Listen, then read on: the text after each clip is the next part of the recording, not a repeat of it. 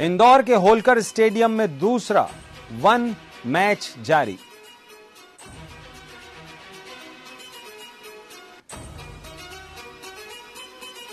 भारत और ऑस्ट्रेलिया की टीम आमने सामने होंगी। तो इस वक्त की बड़ी खबर इंदौर से।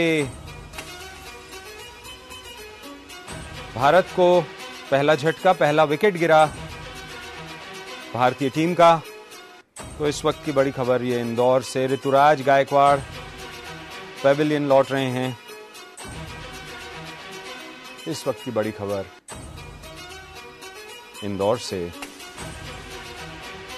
होलकर स्टेडियम में दूसरा वनडे मैच जारी है। भारत का पहला विकेट गिर चुका है।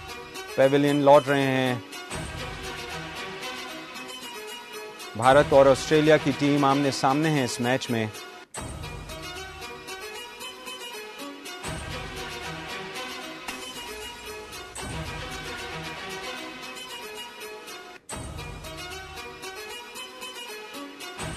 इस वक्त की बड़ी खबर इंदौर से।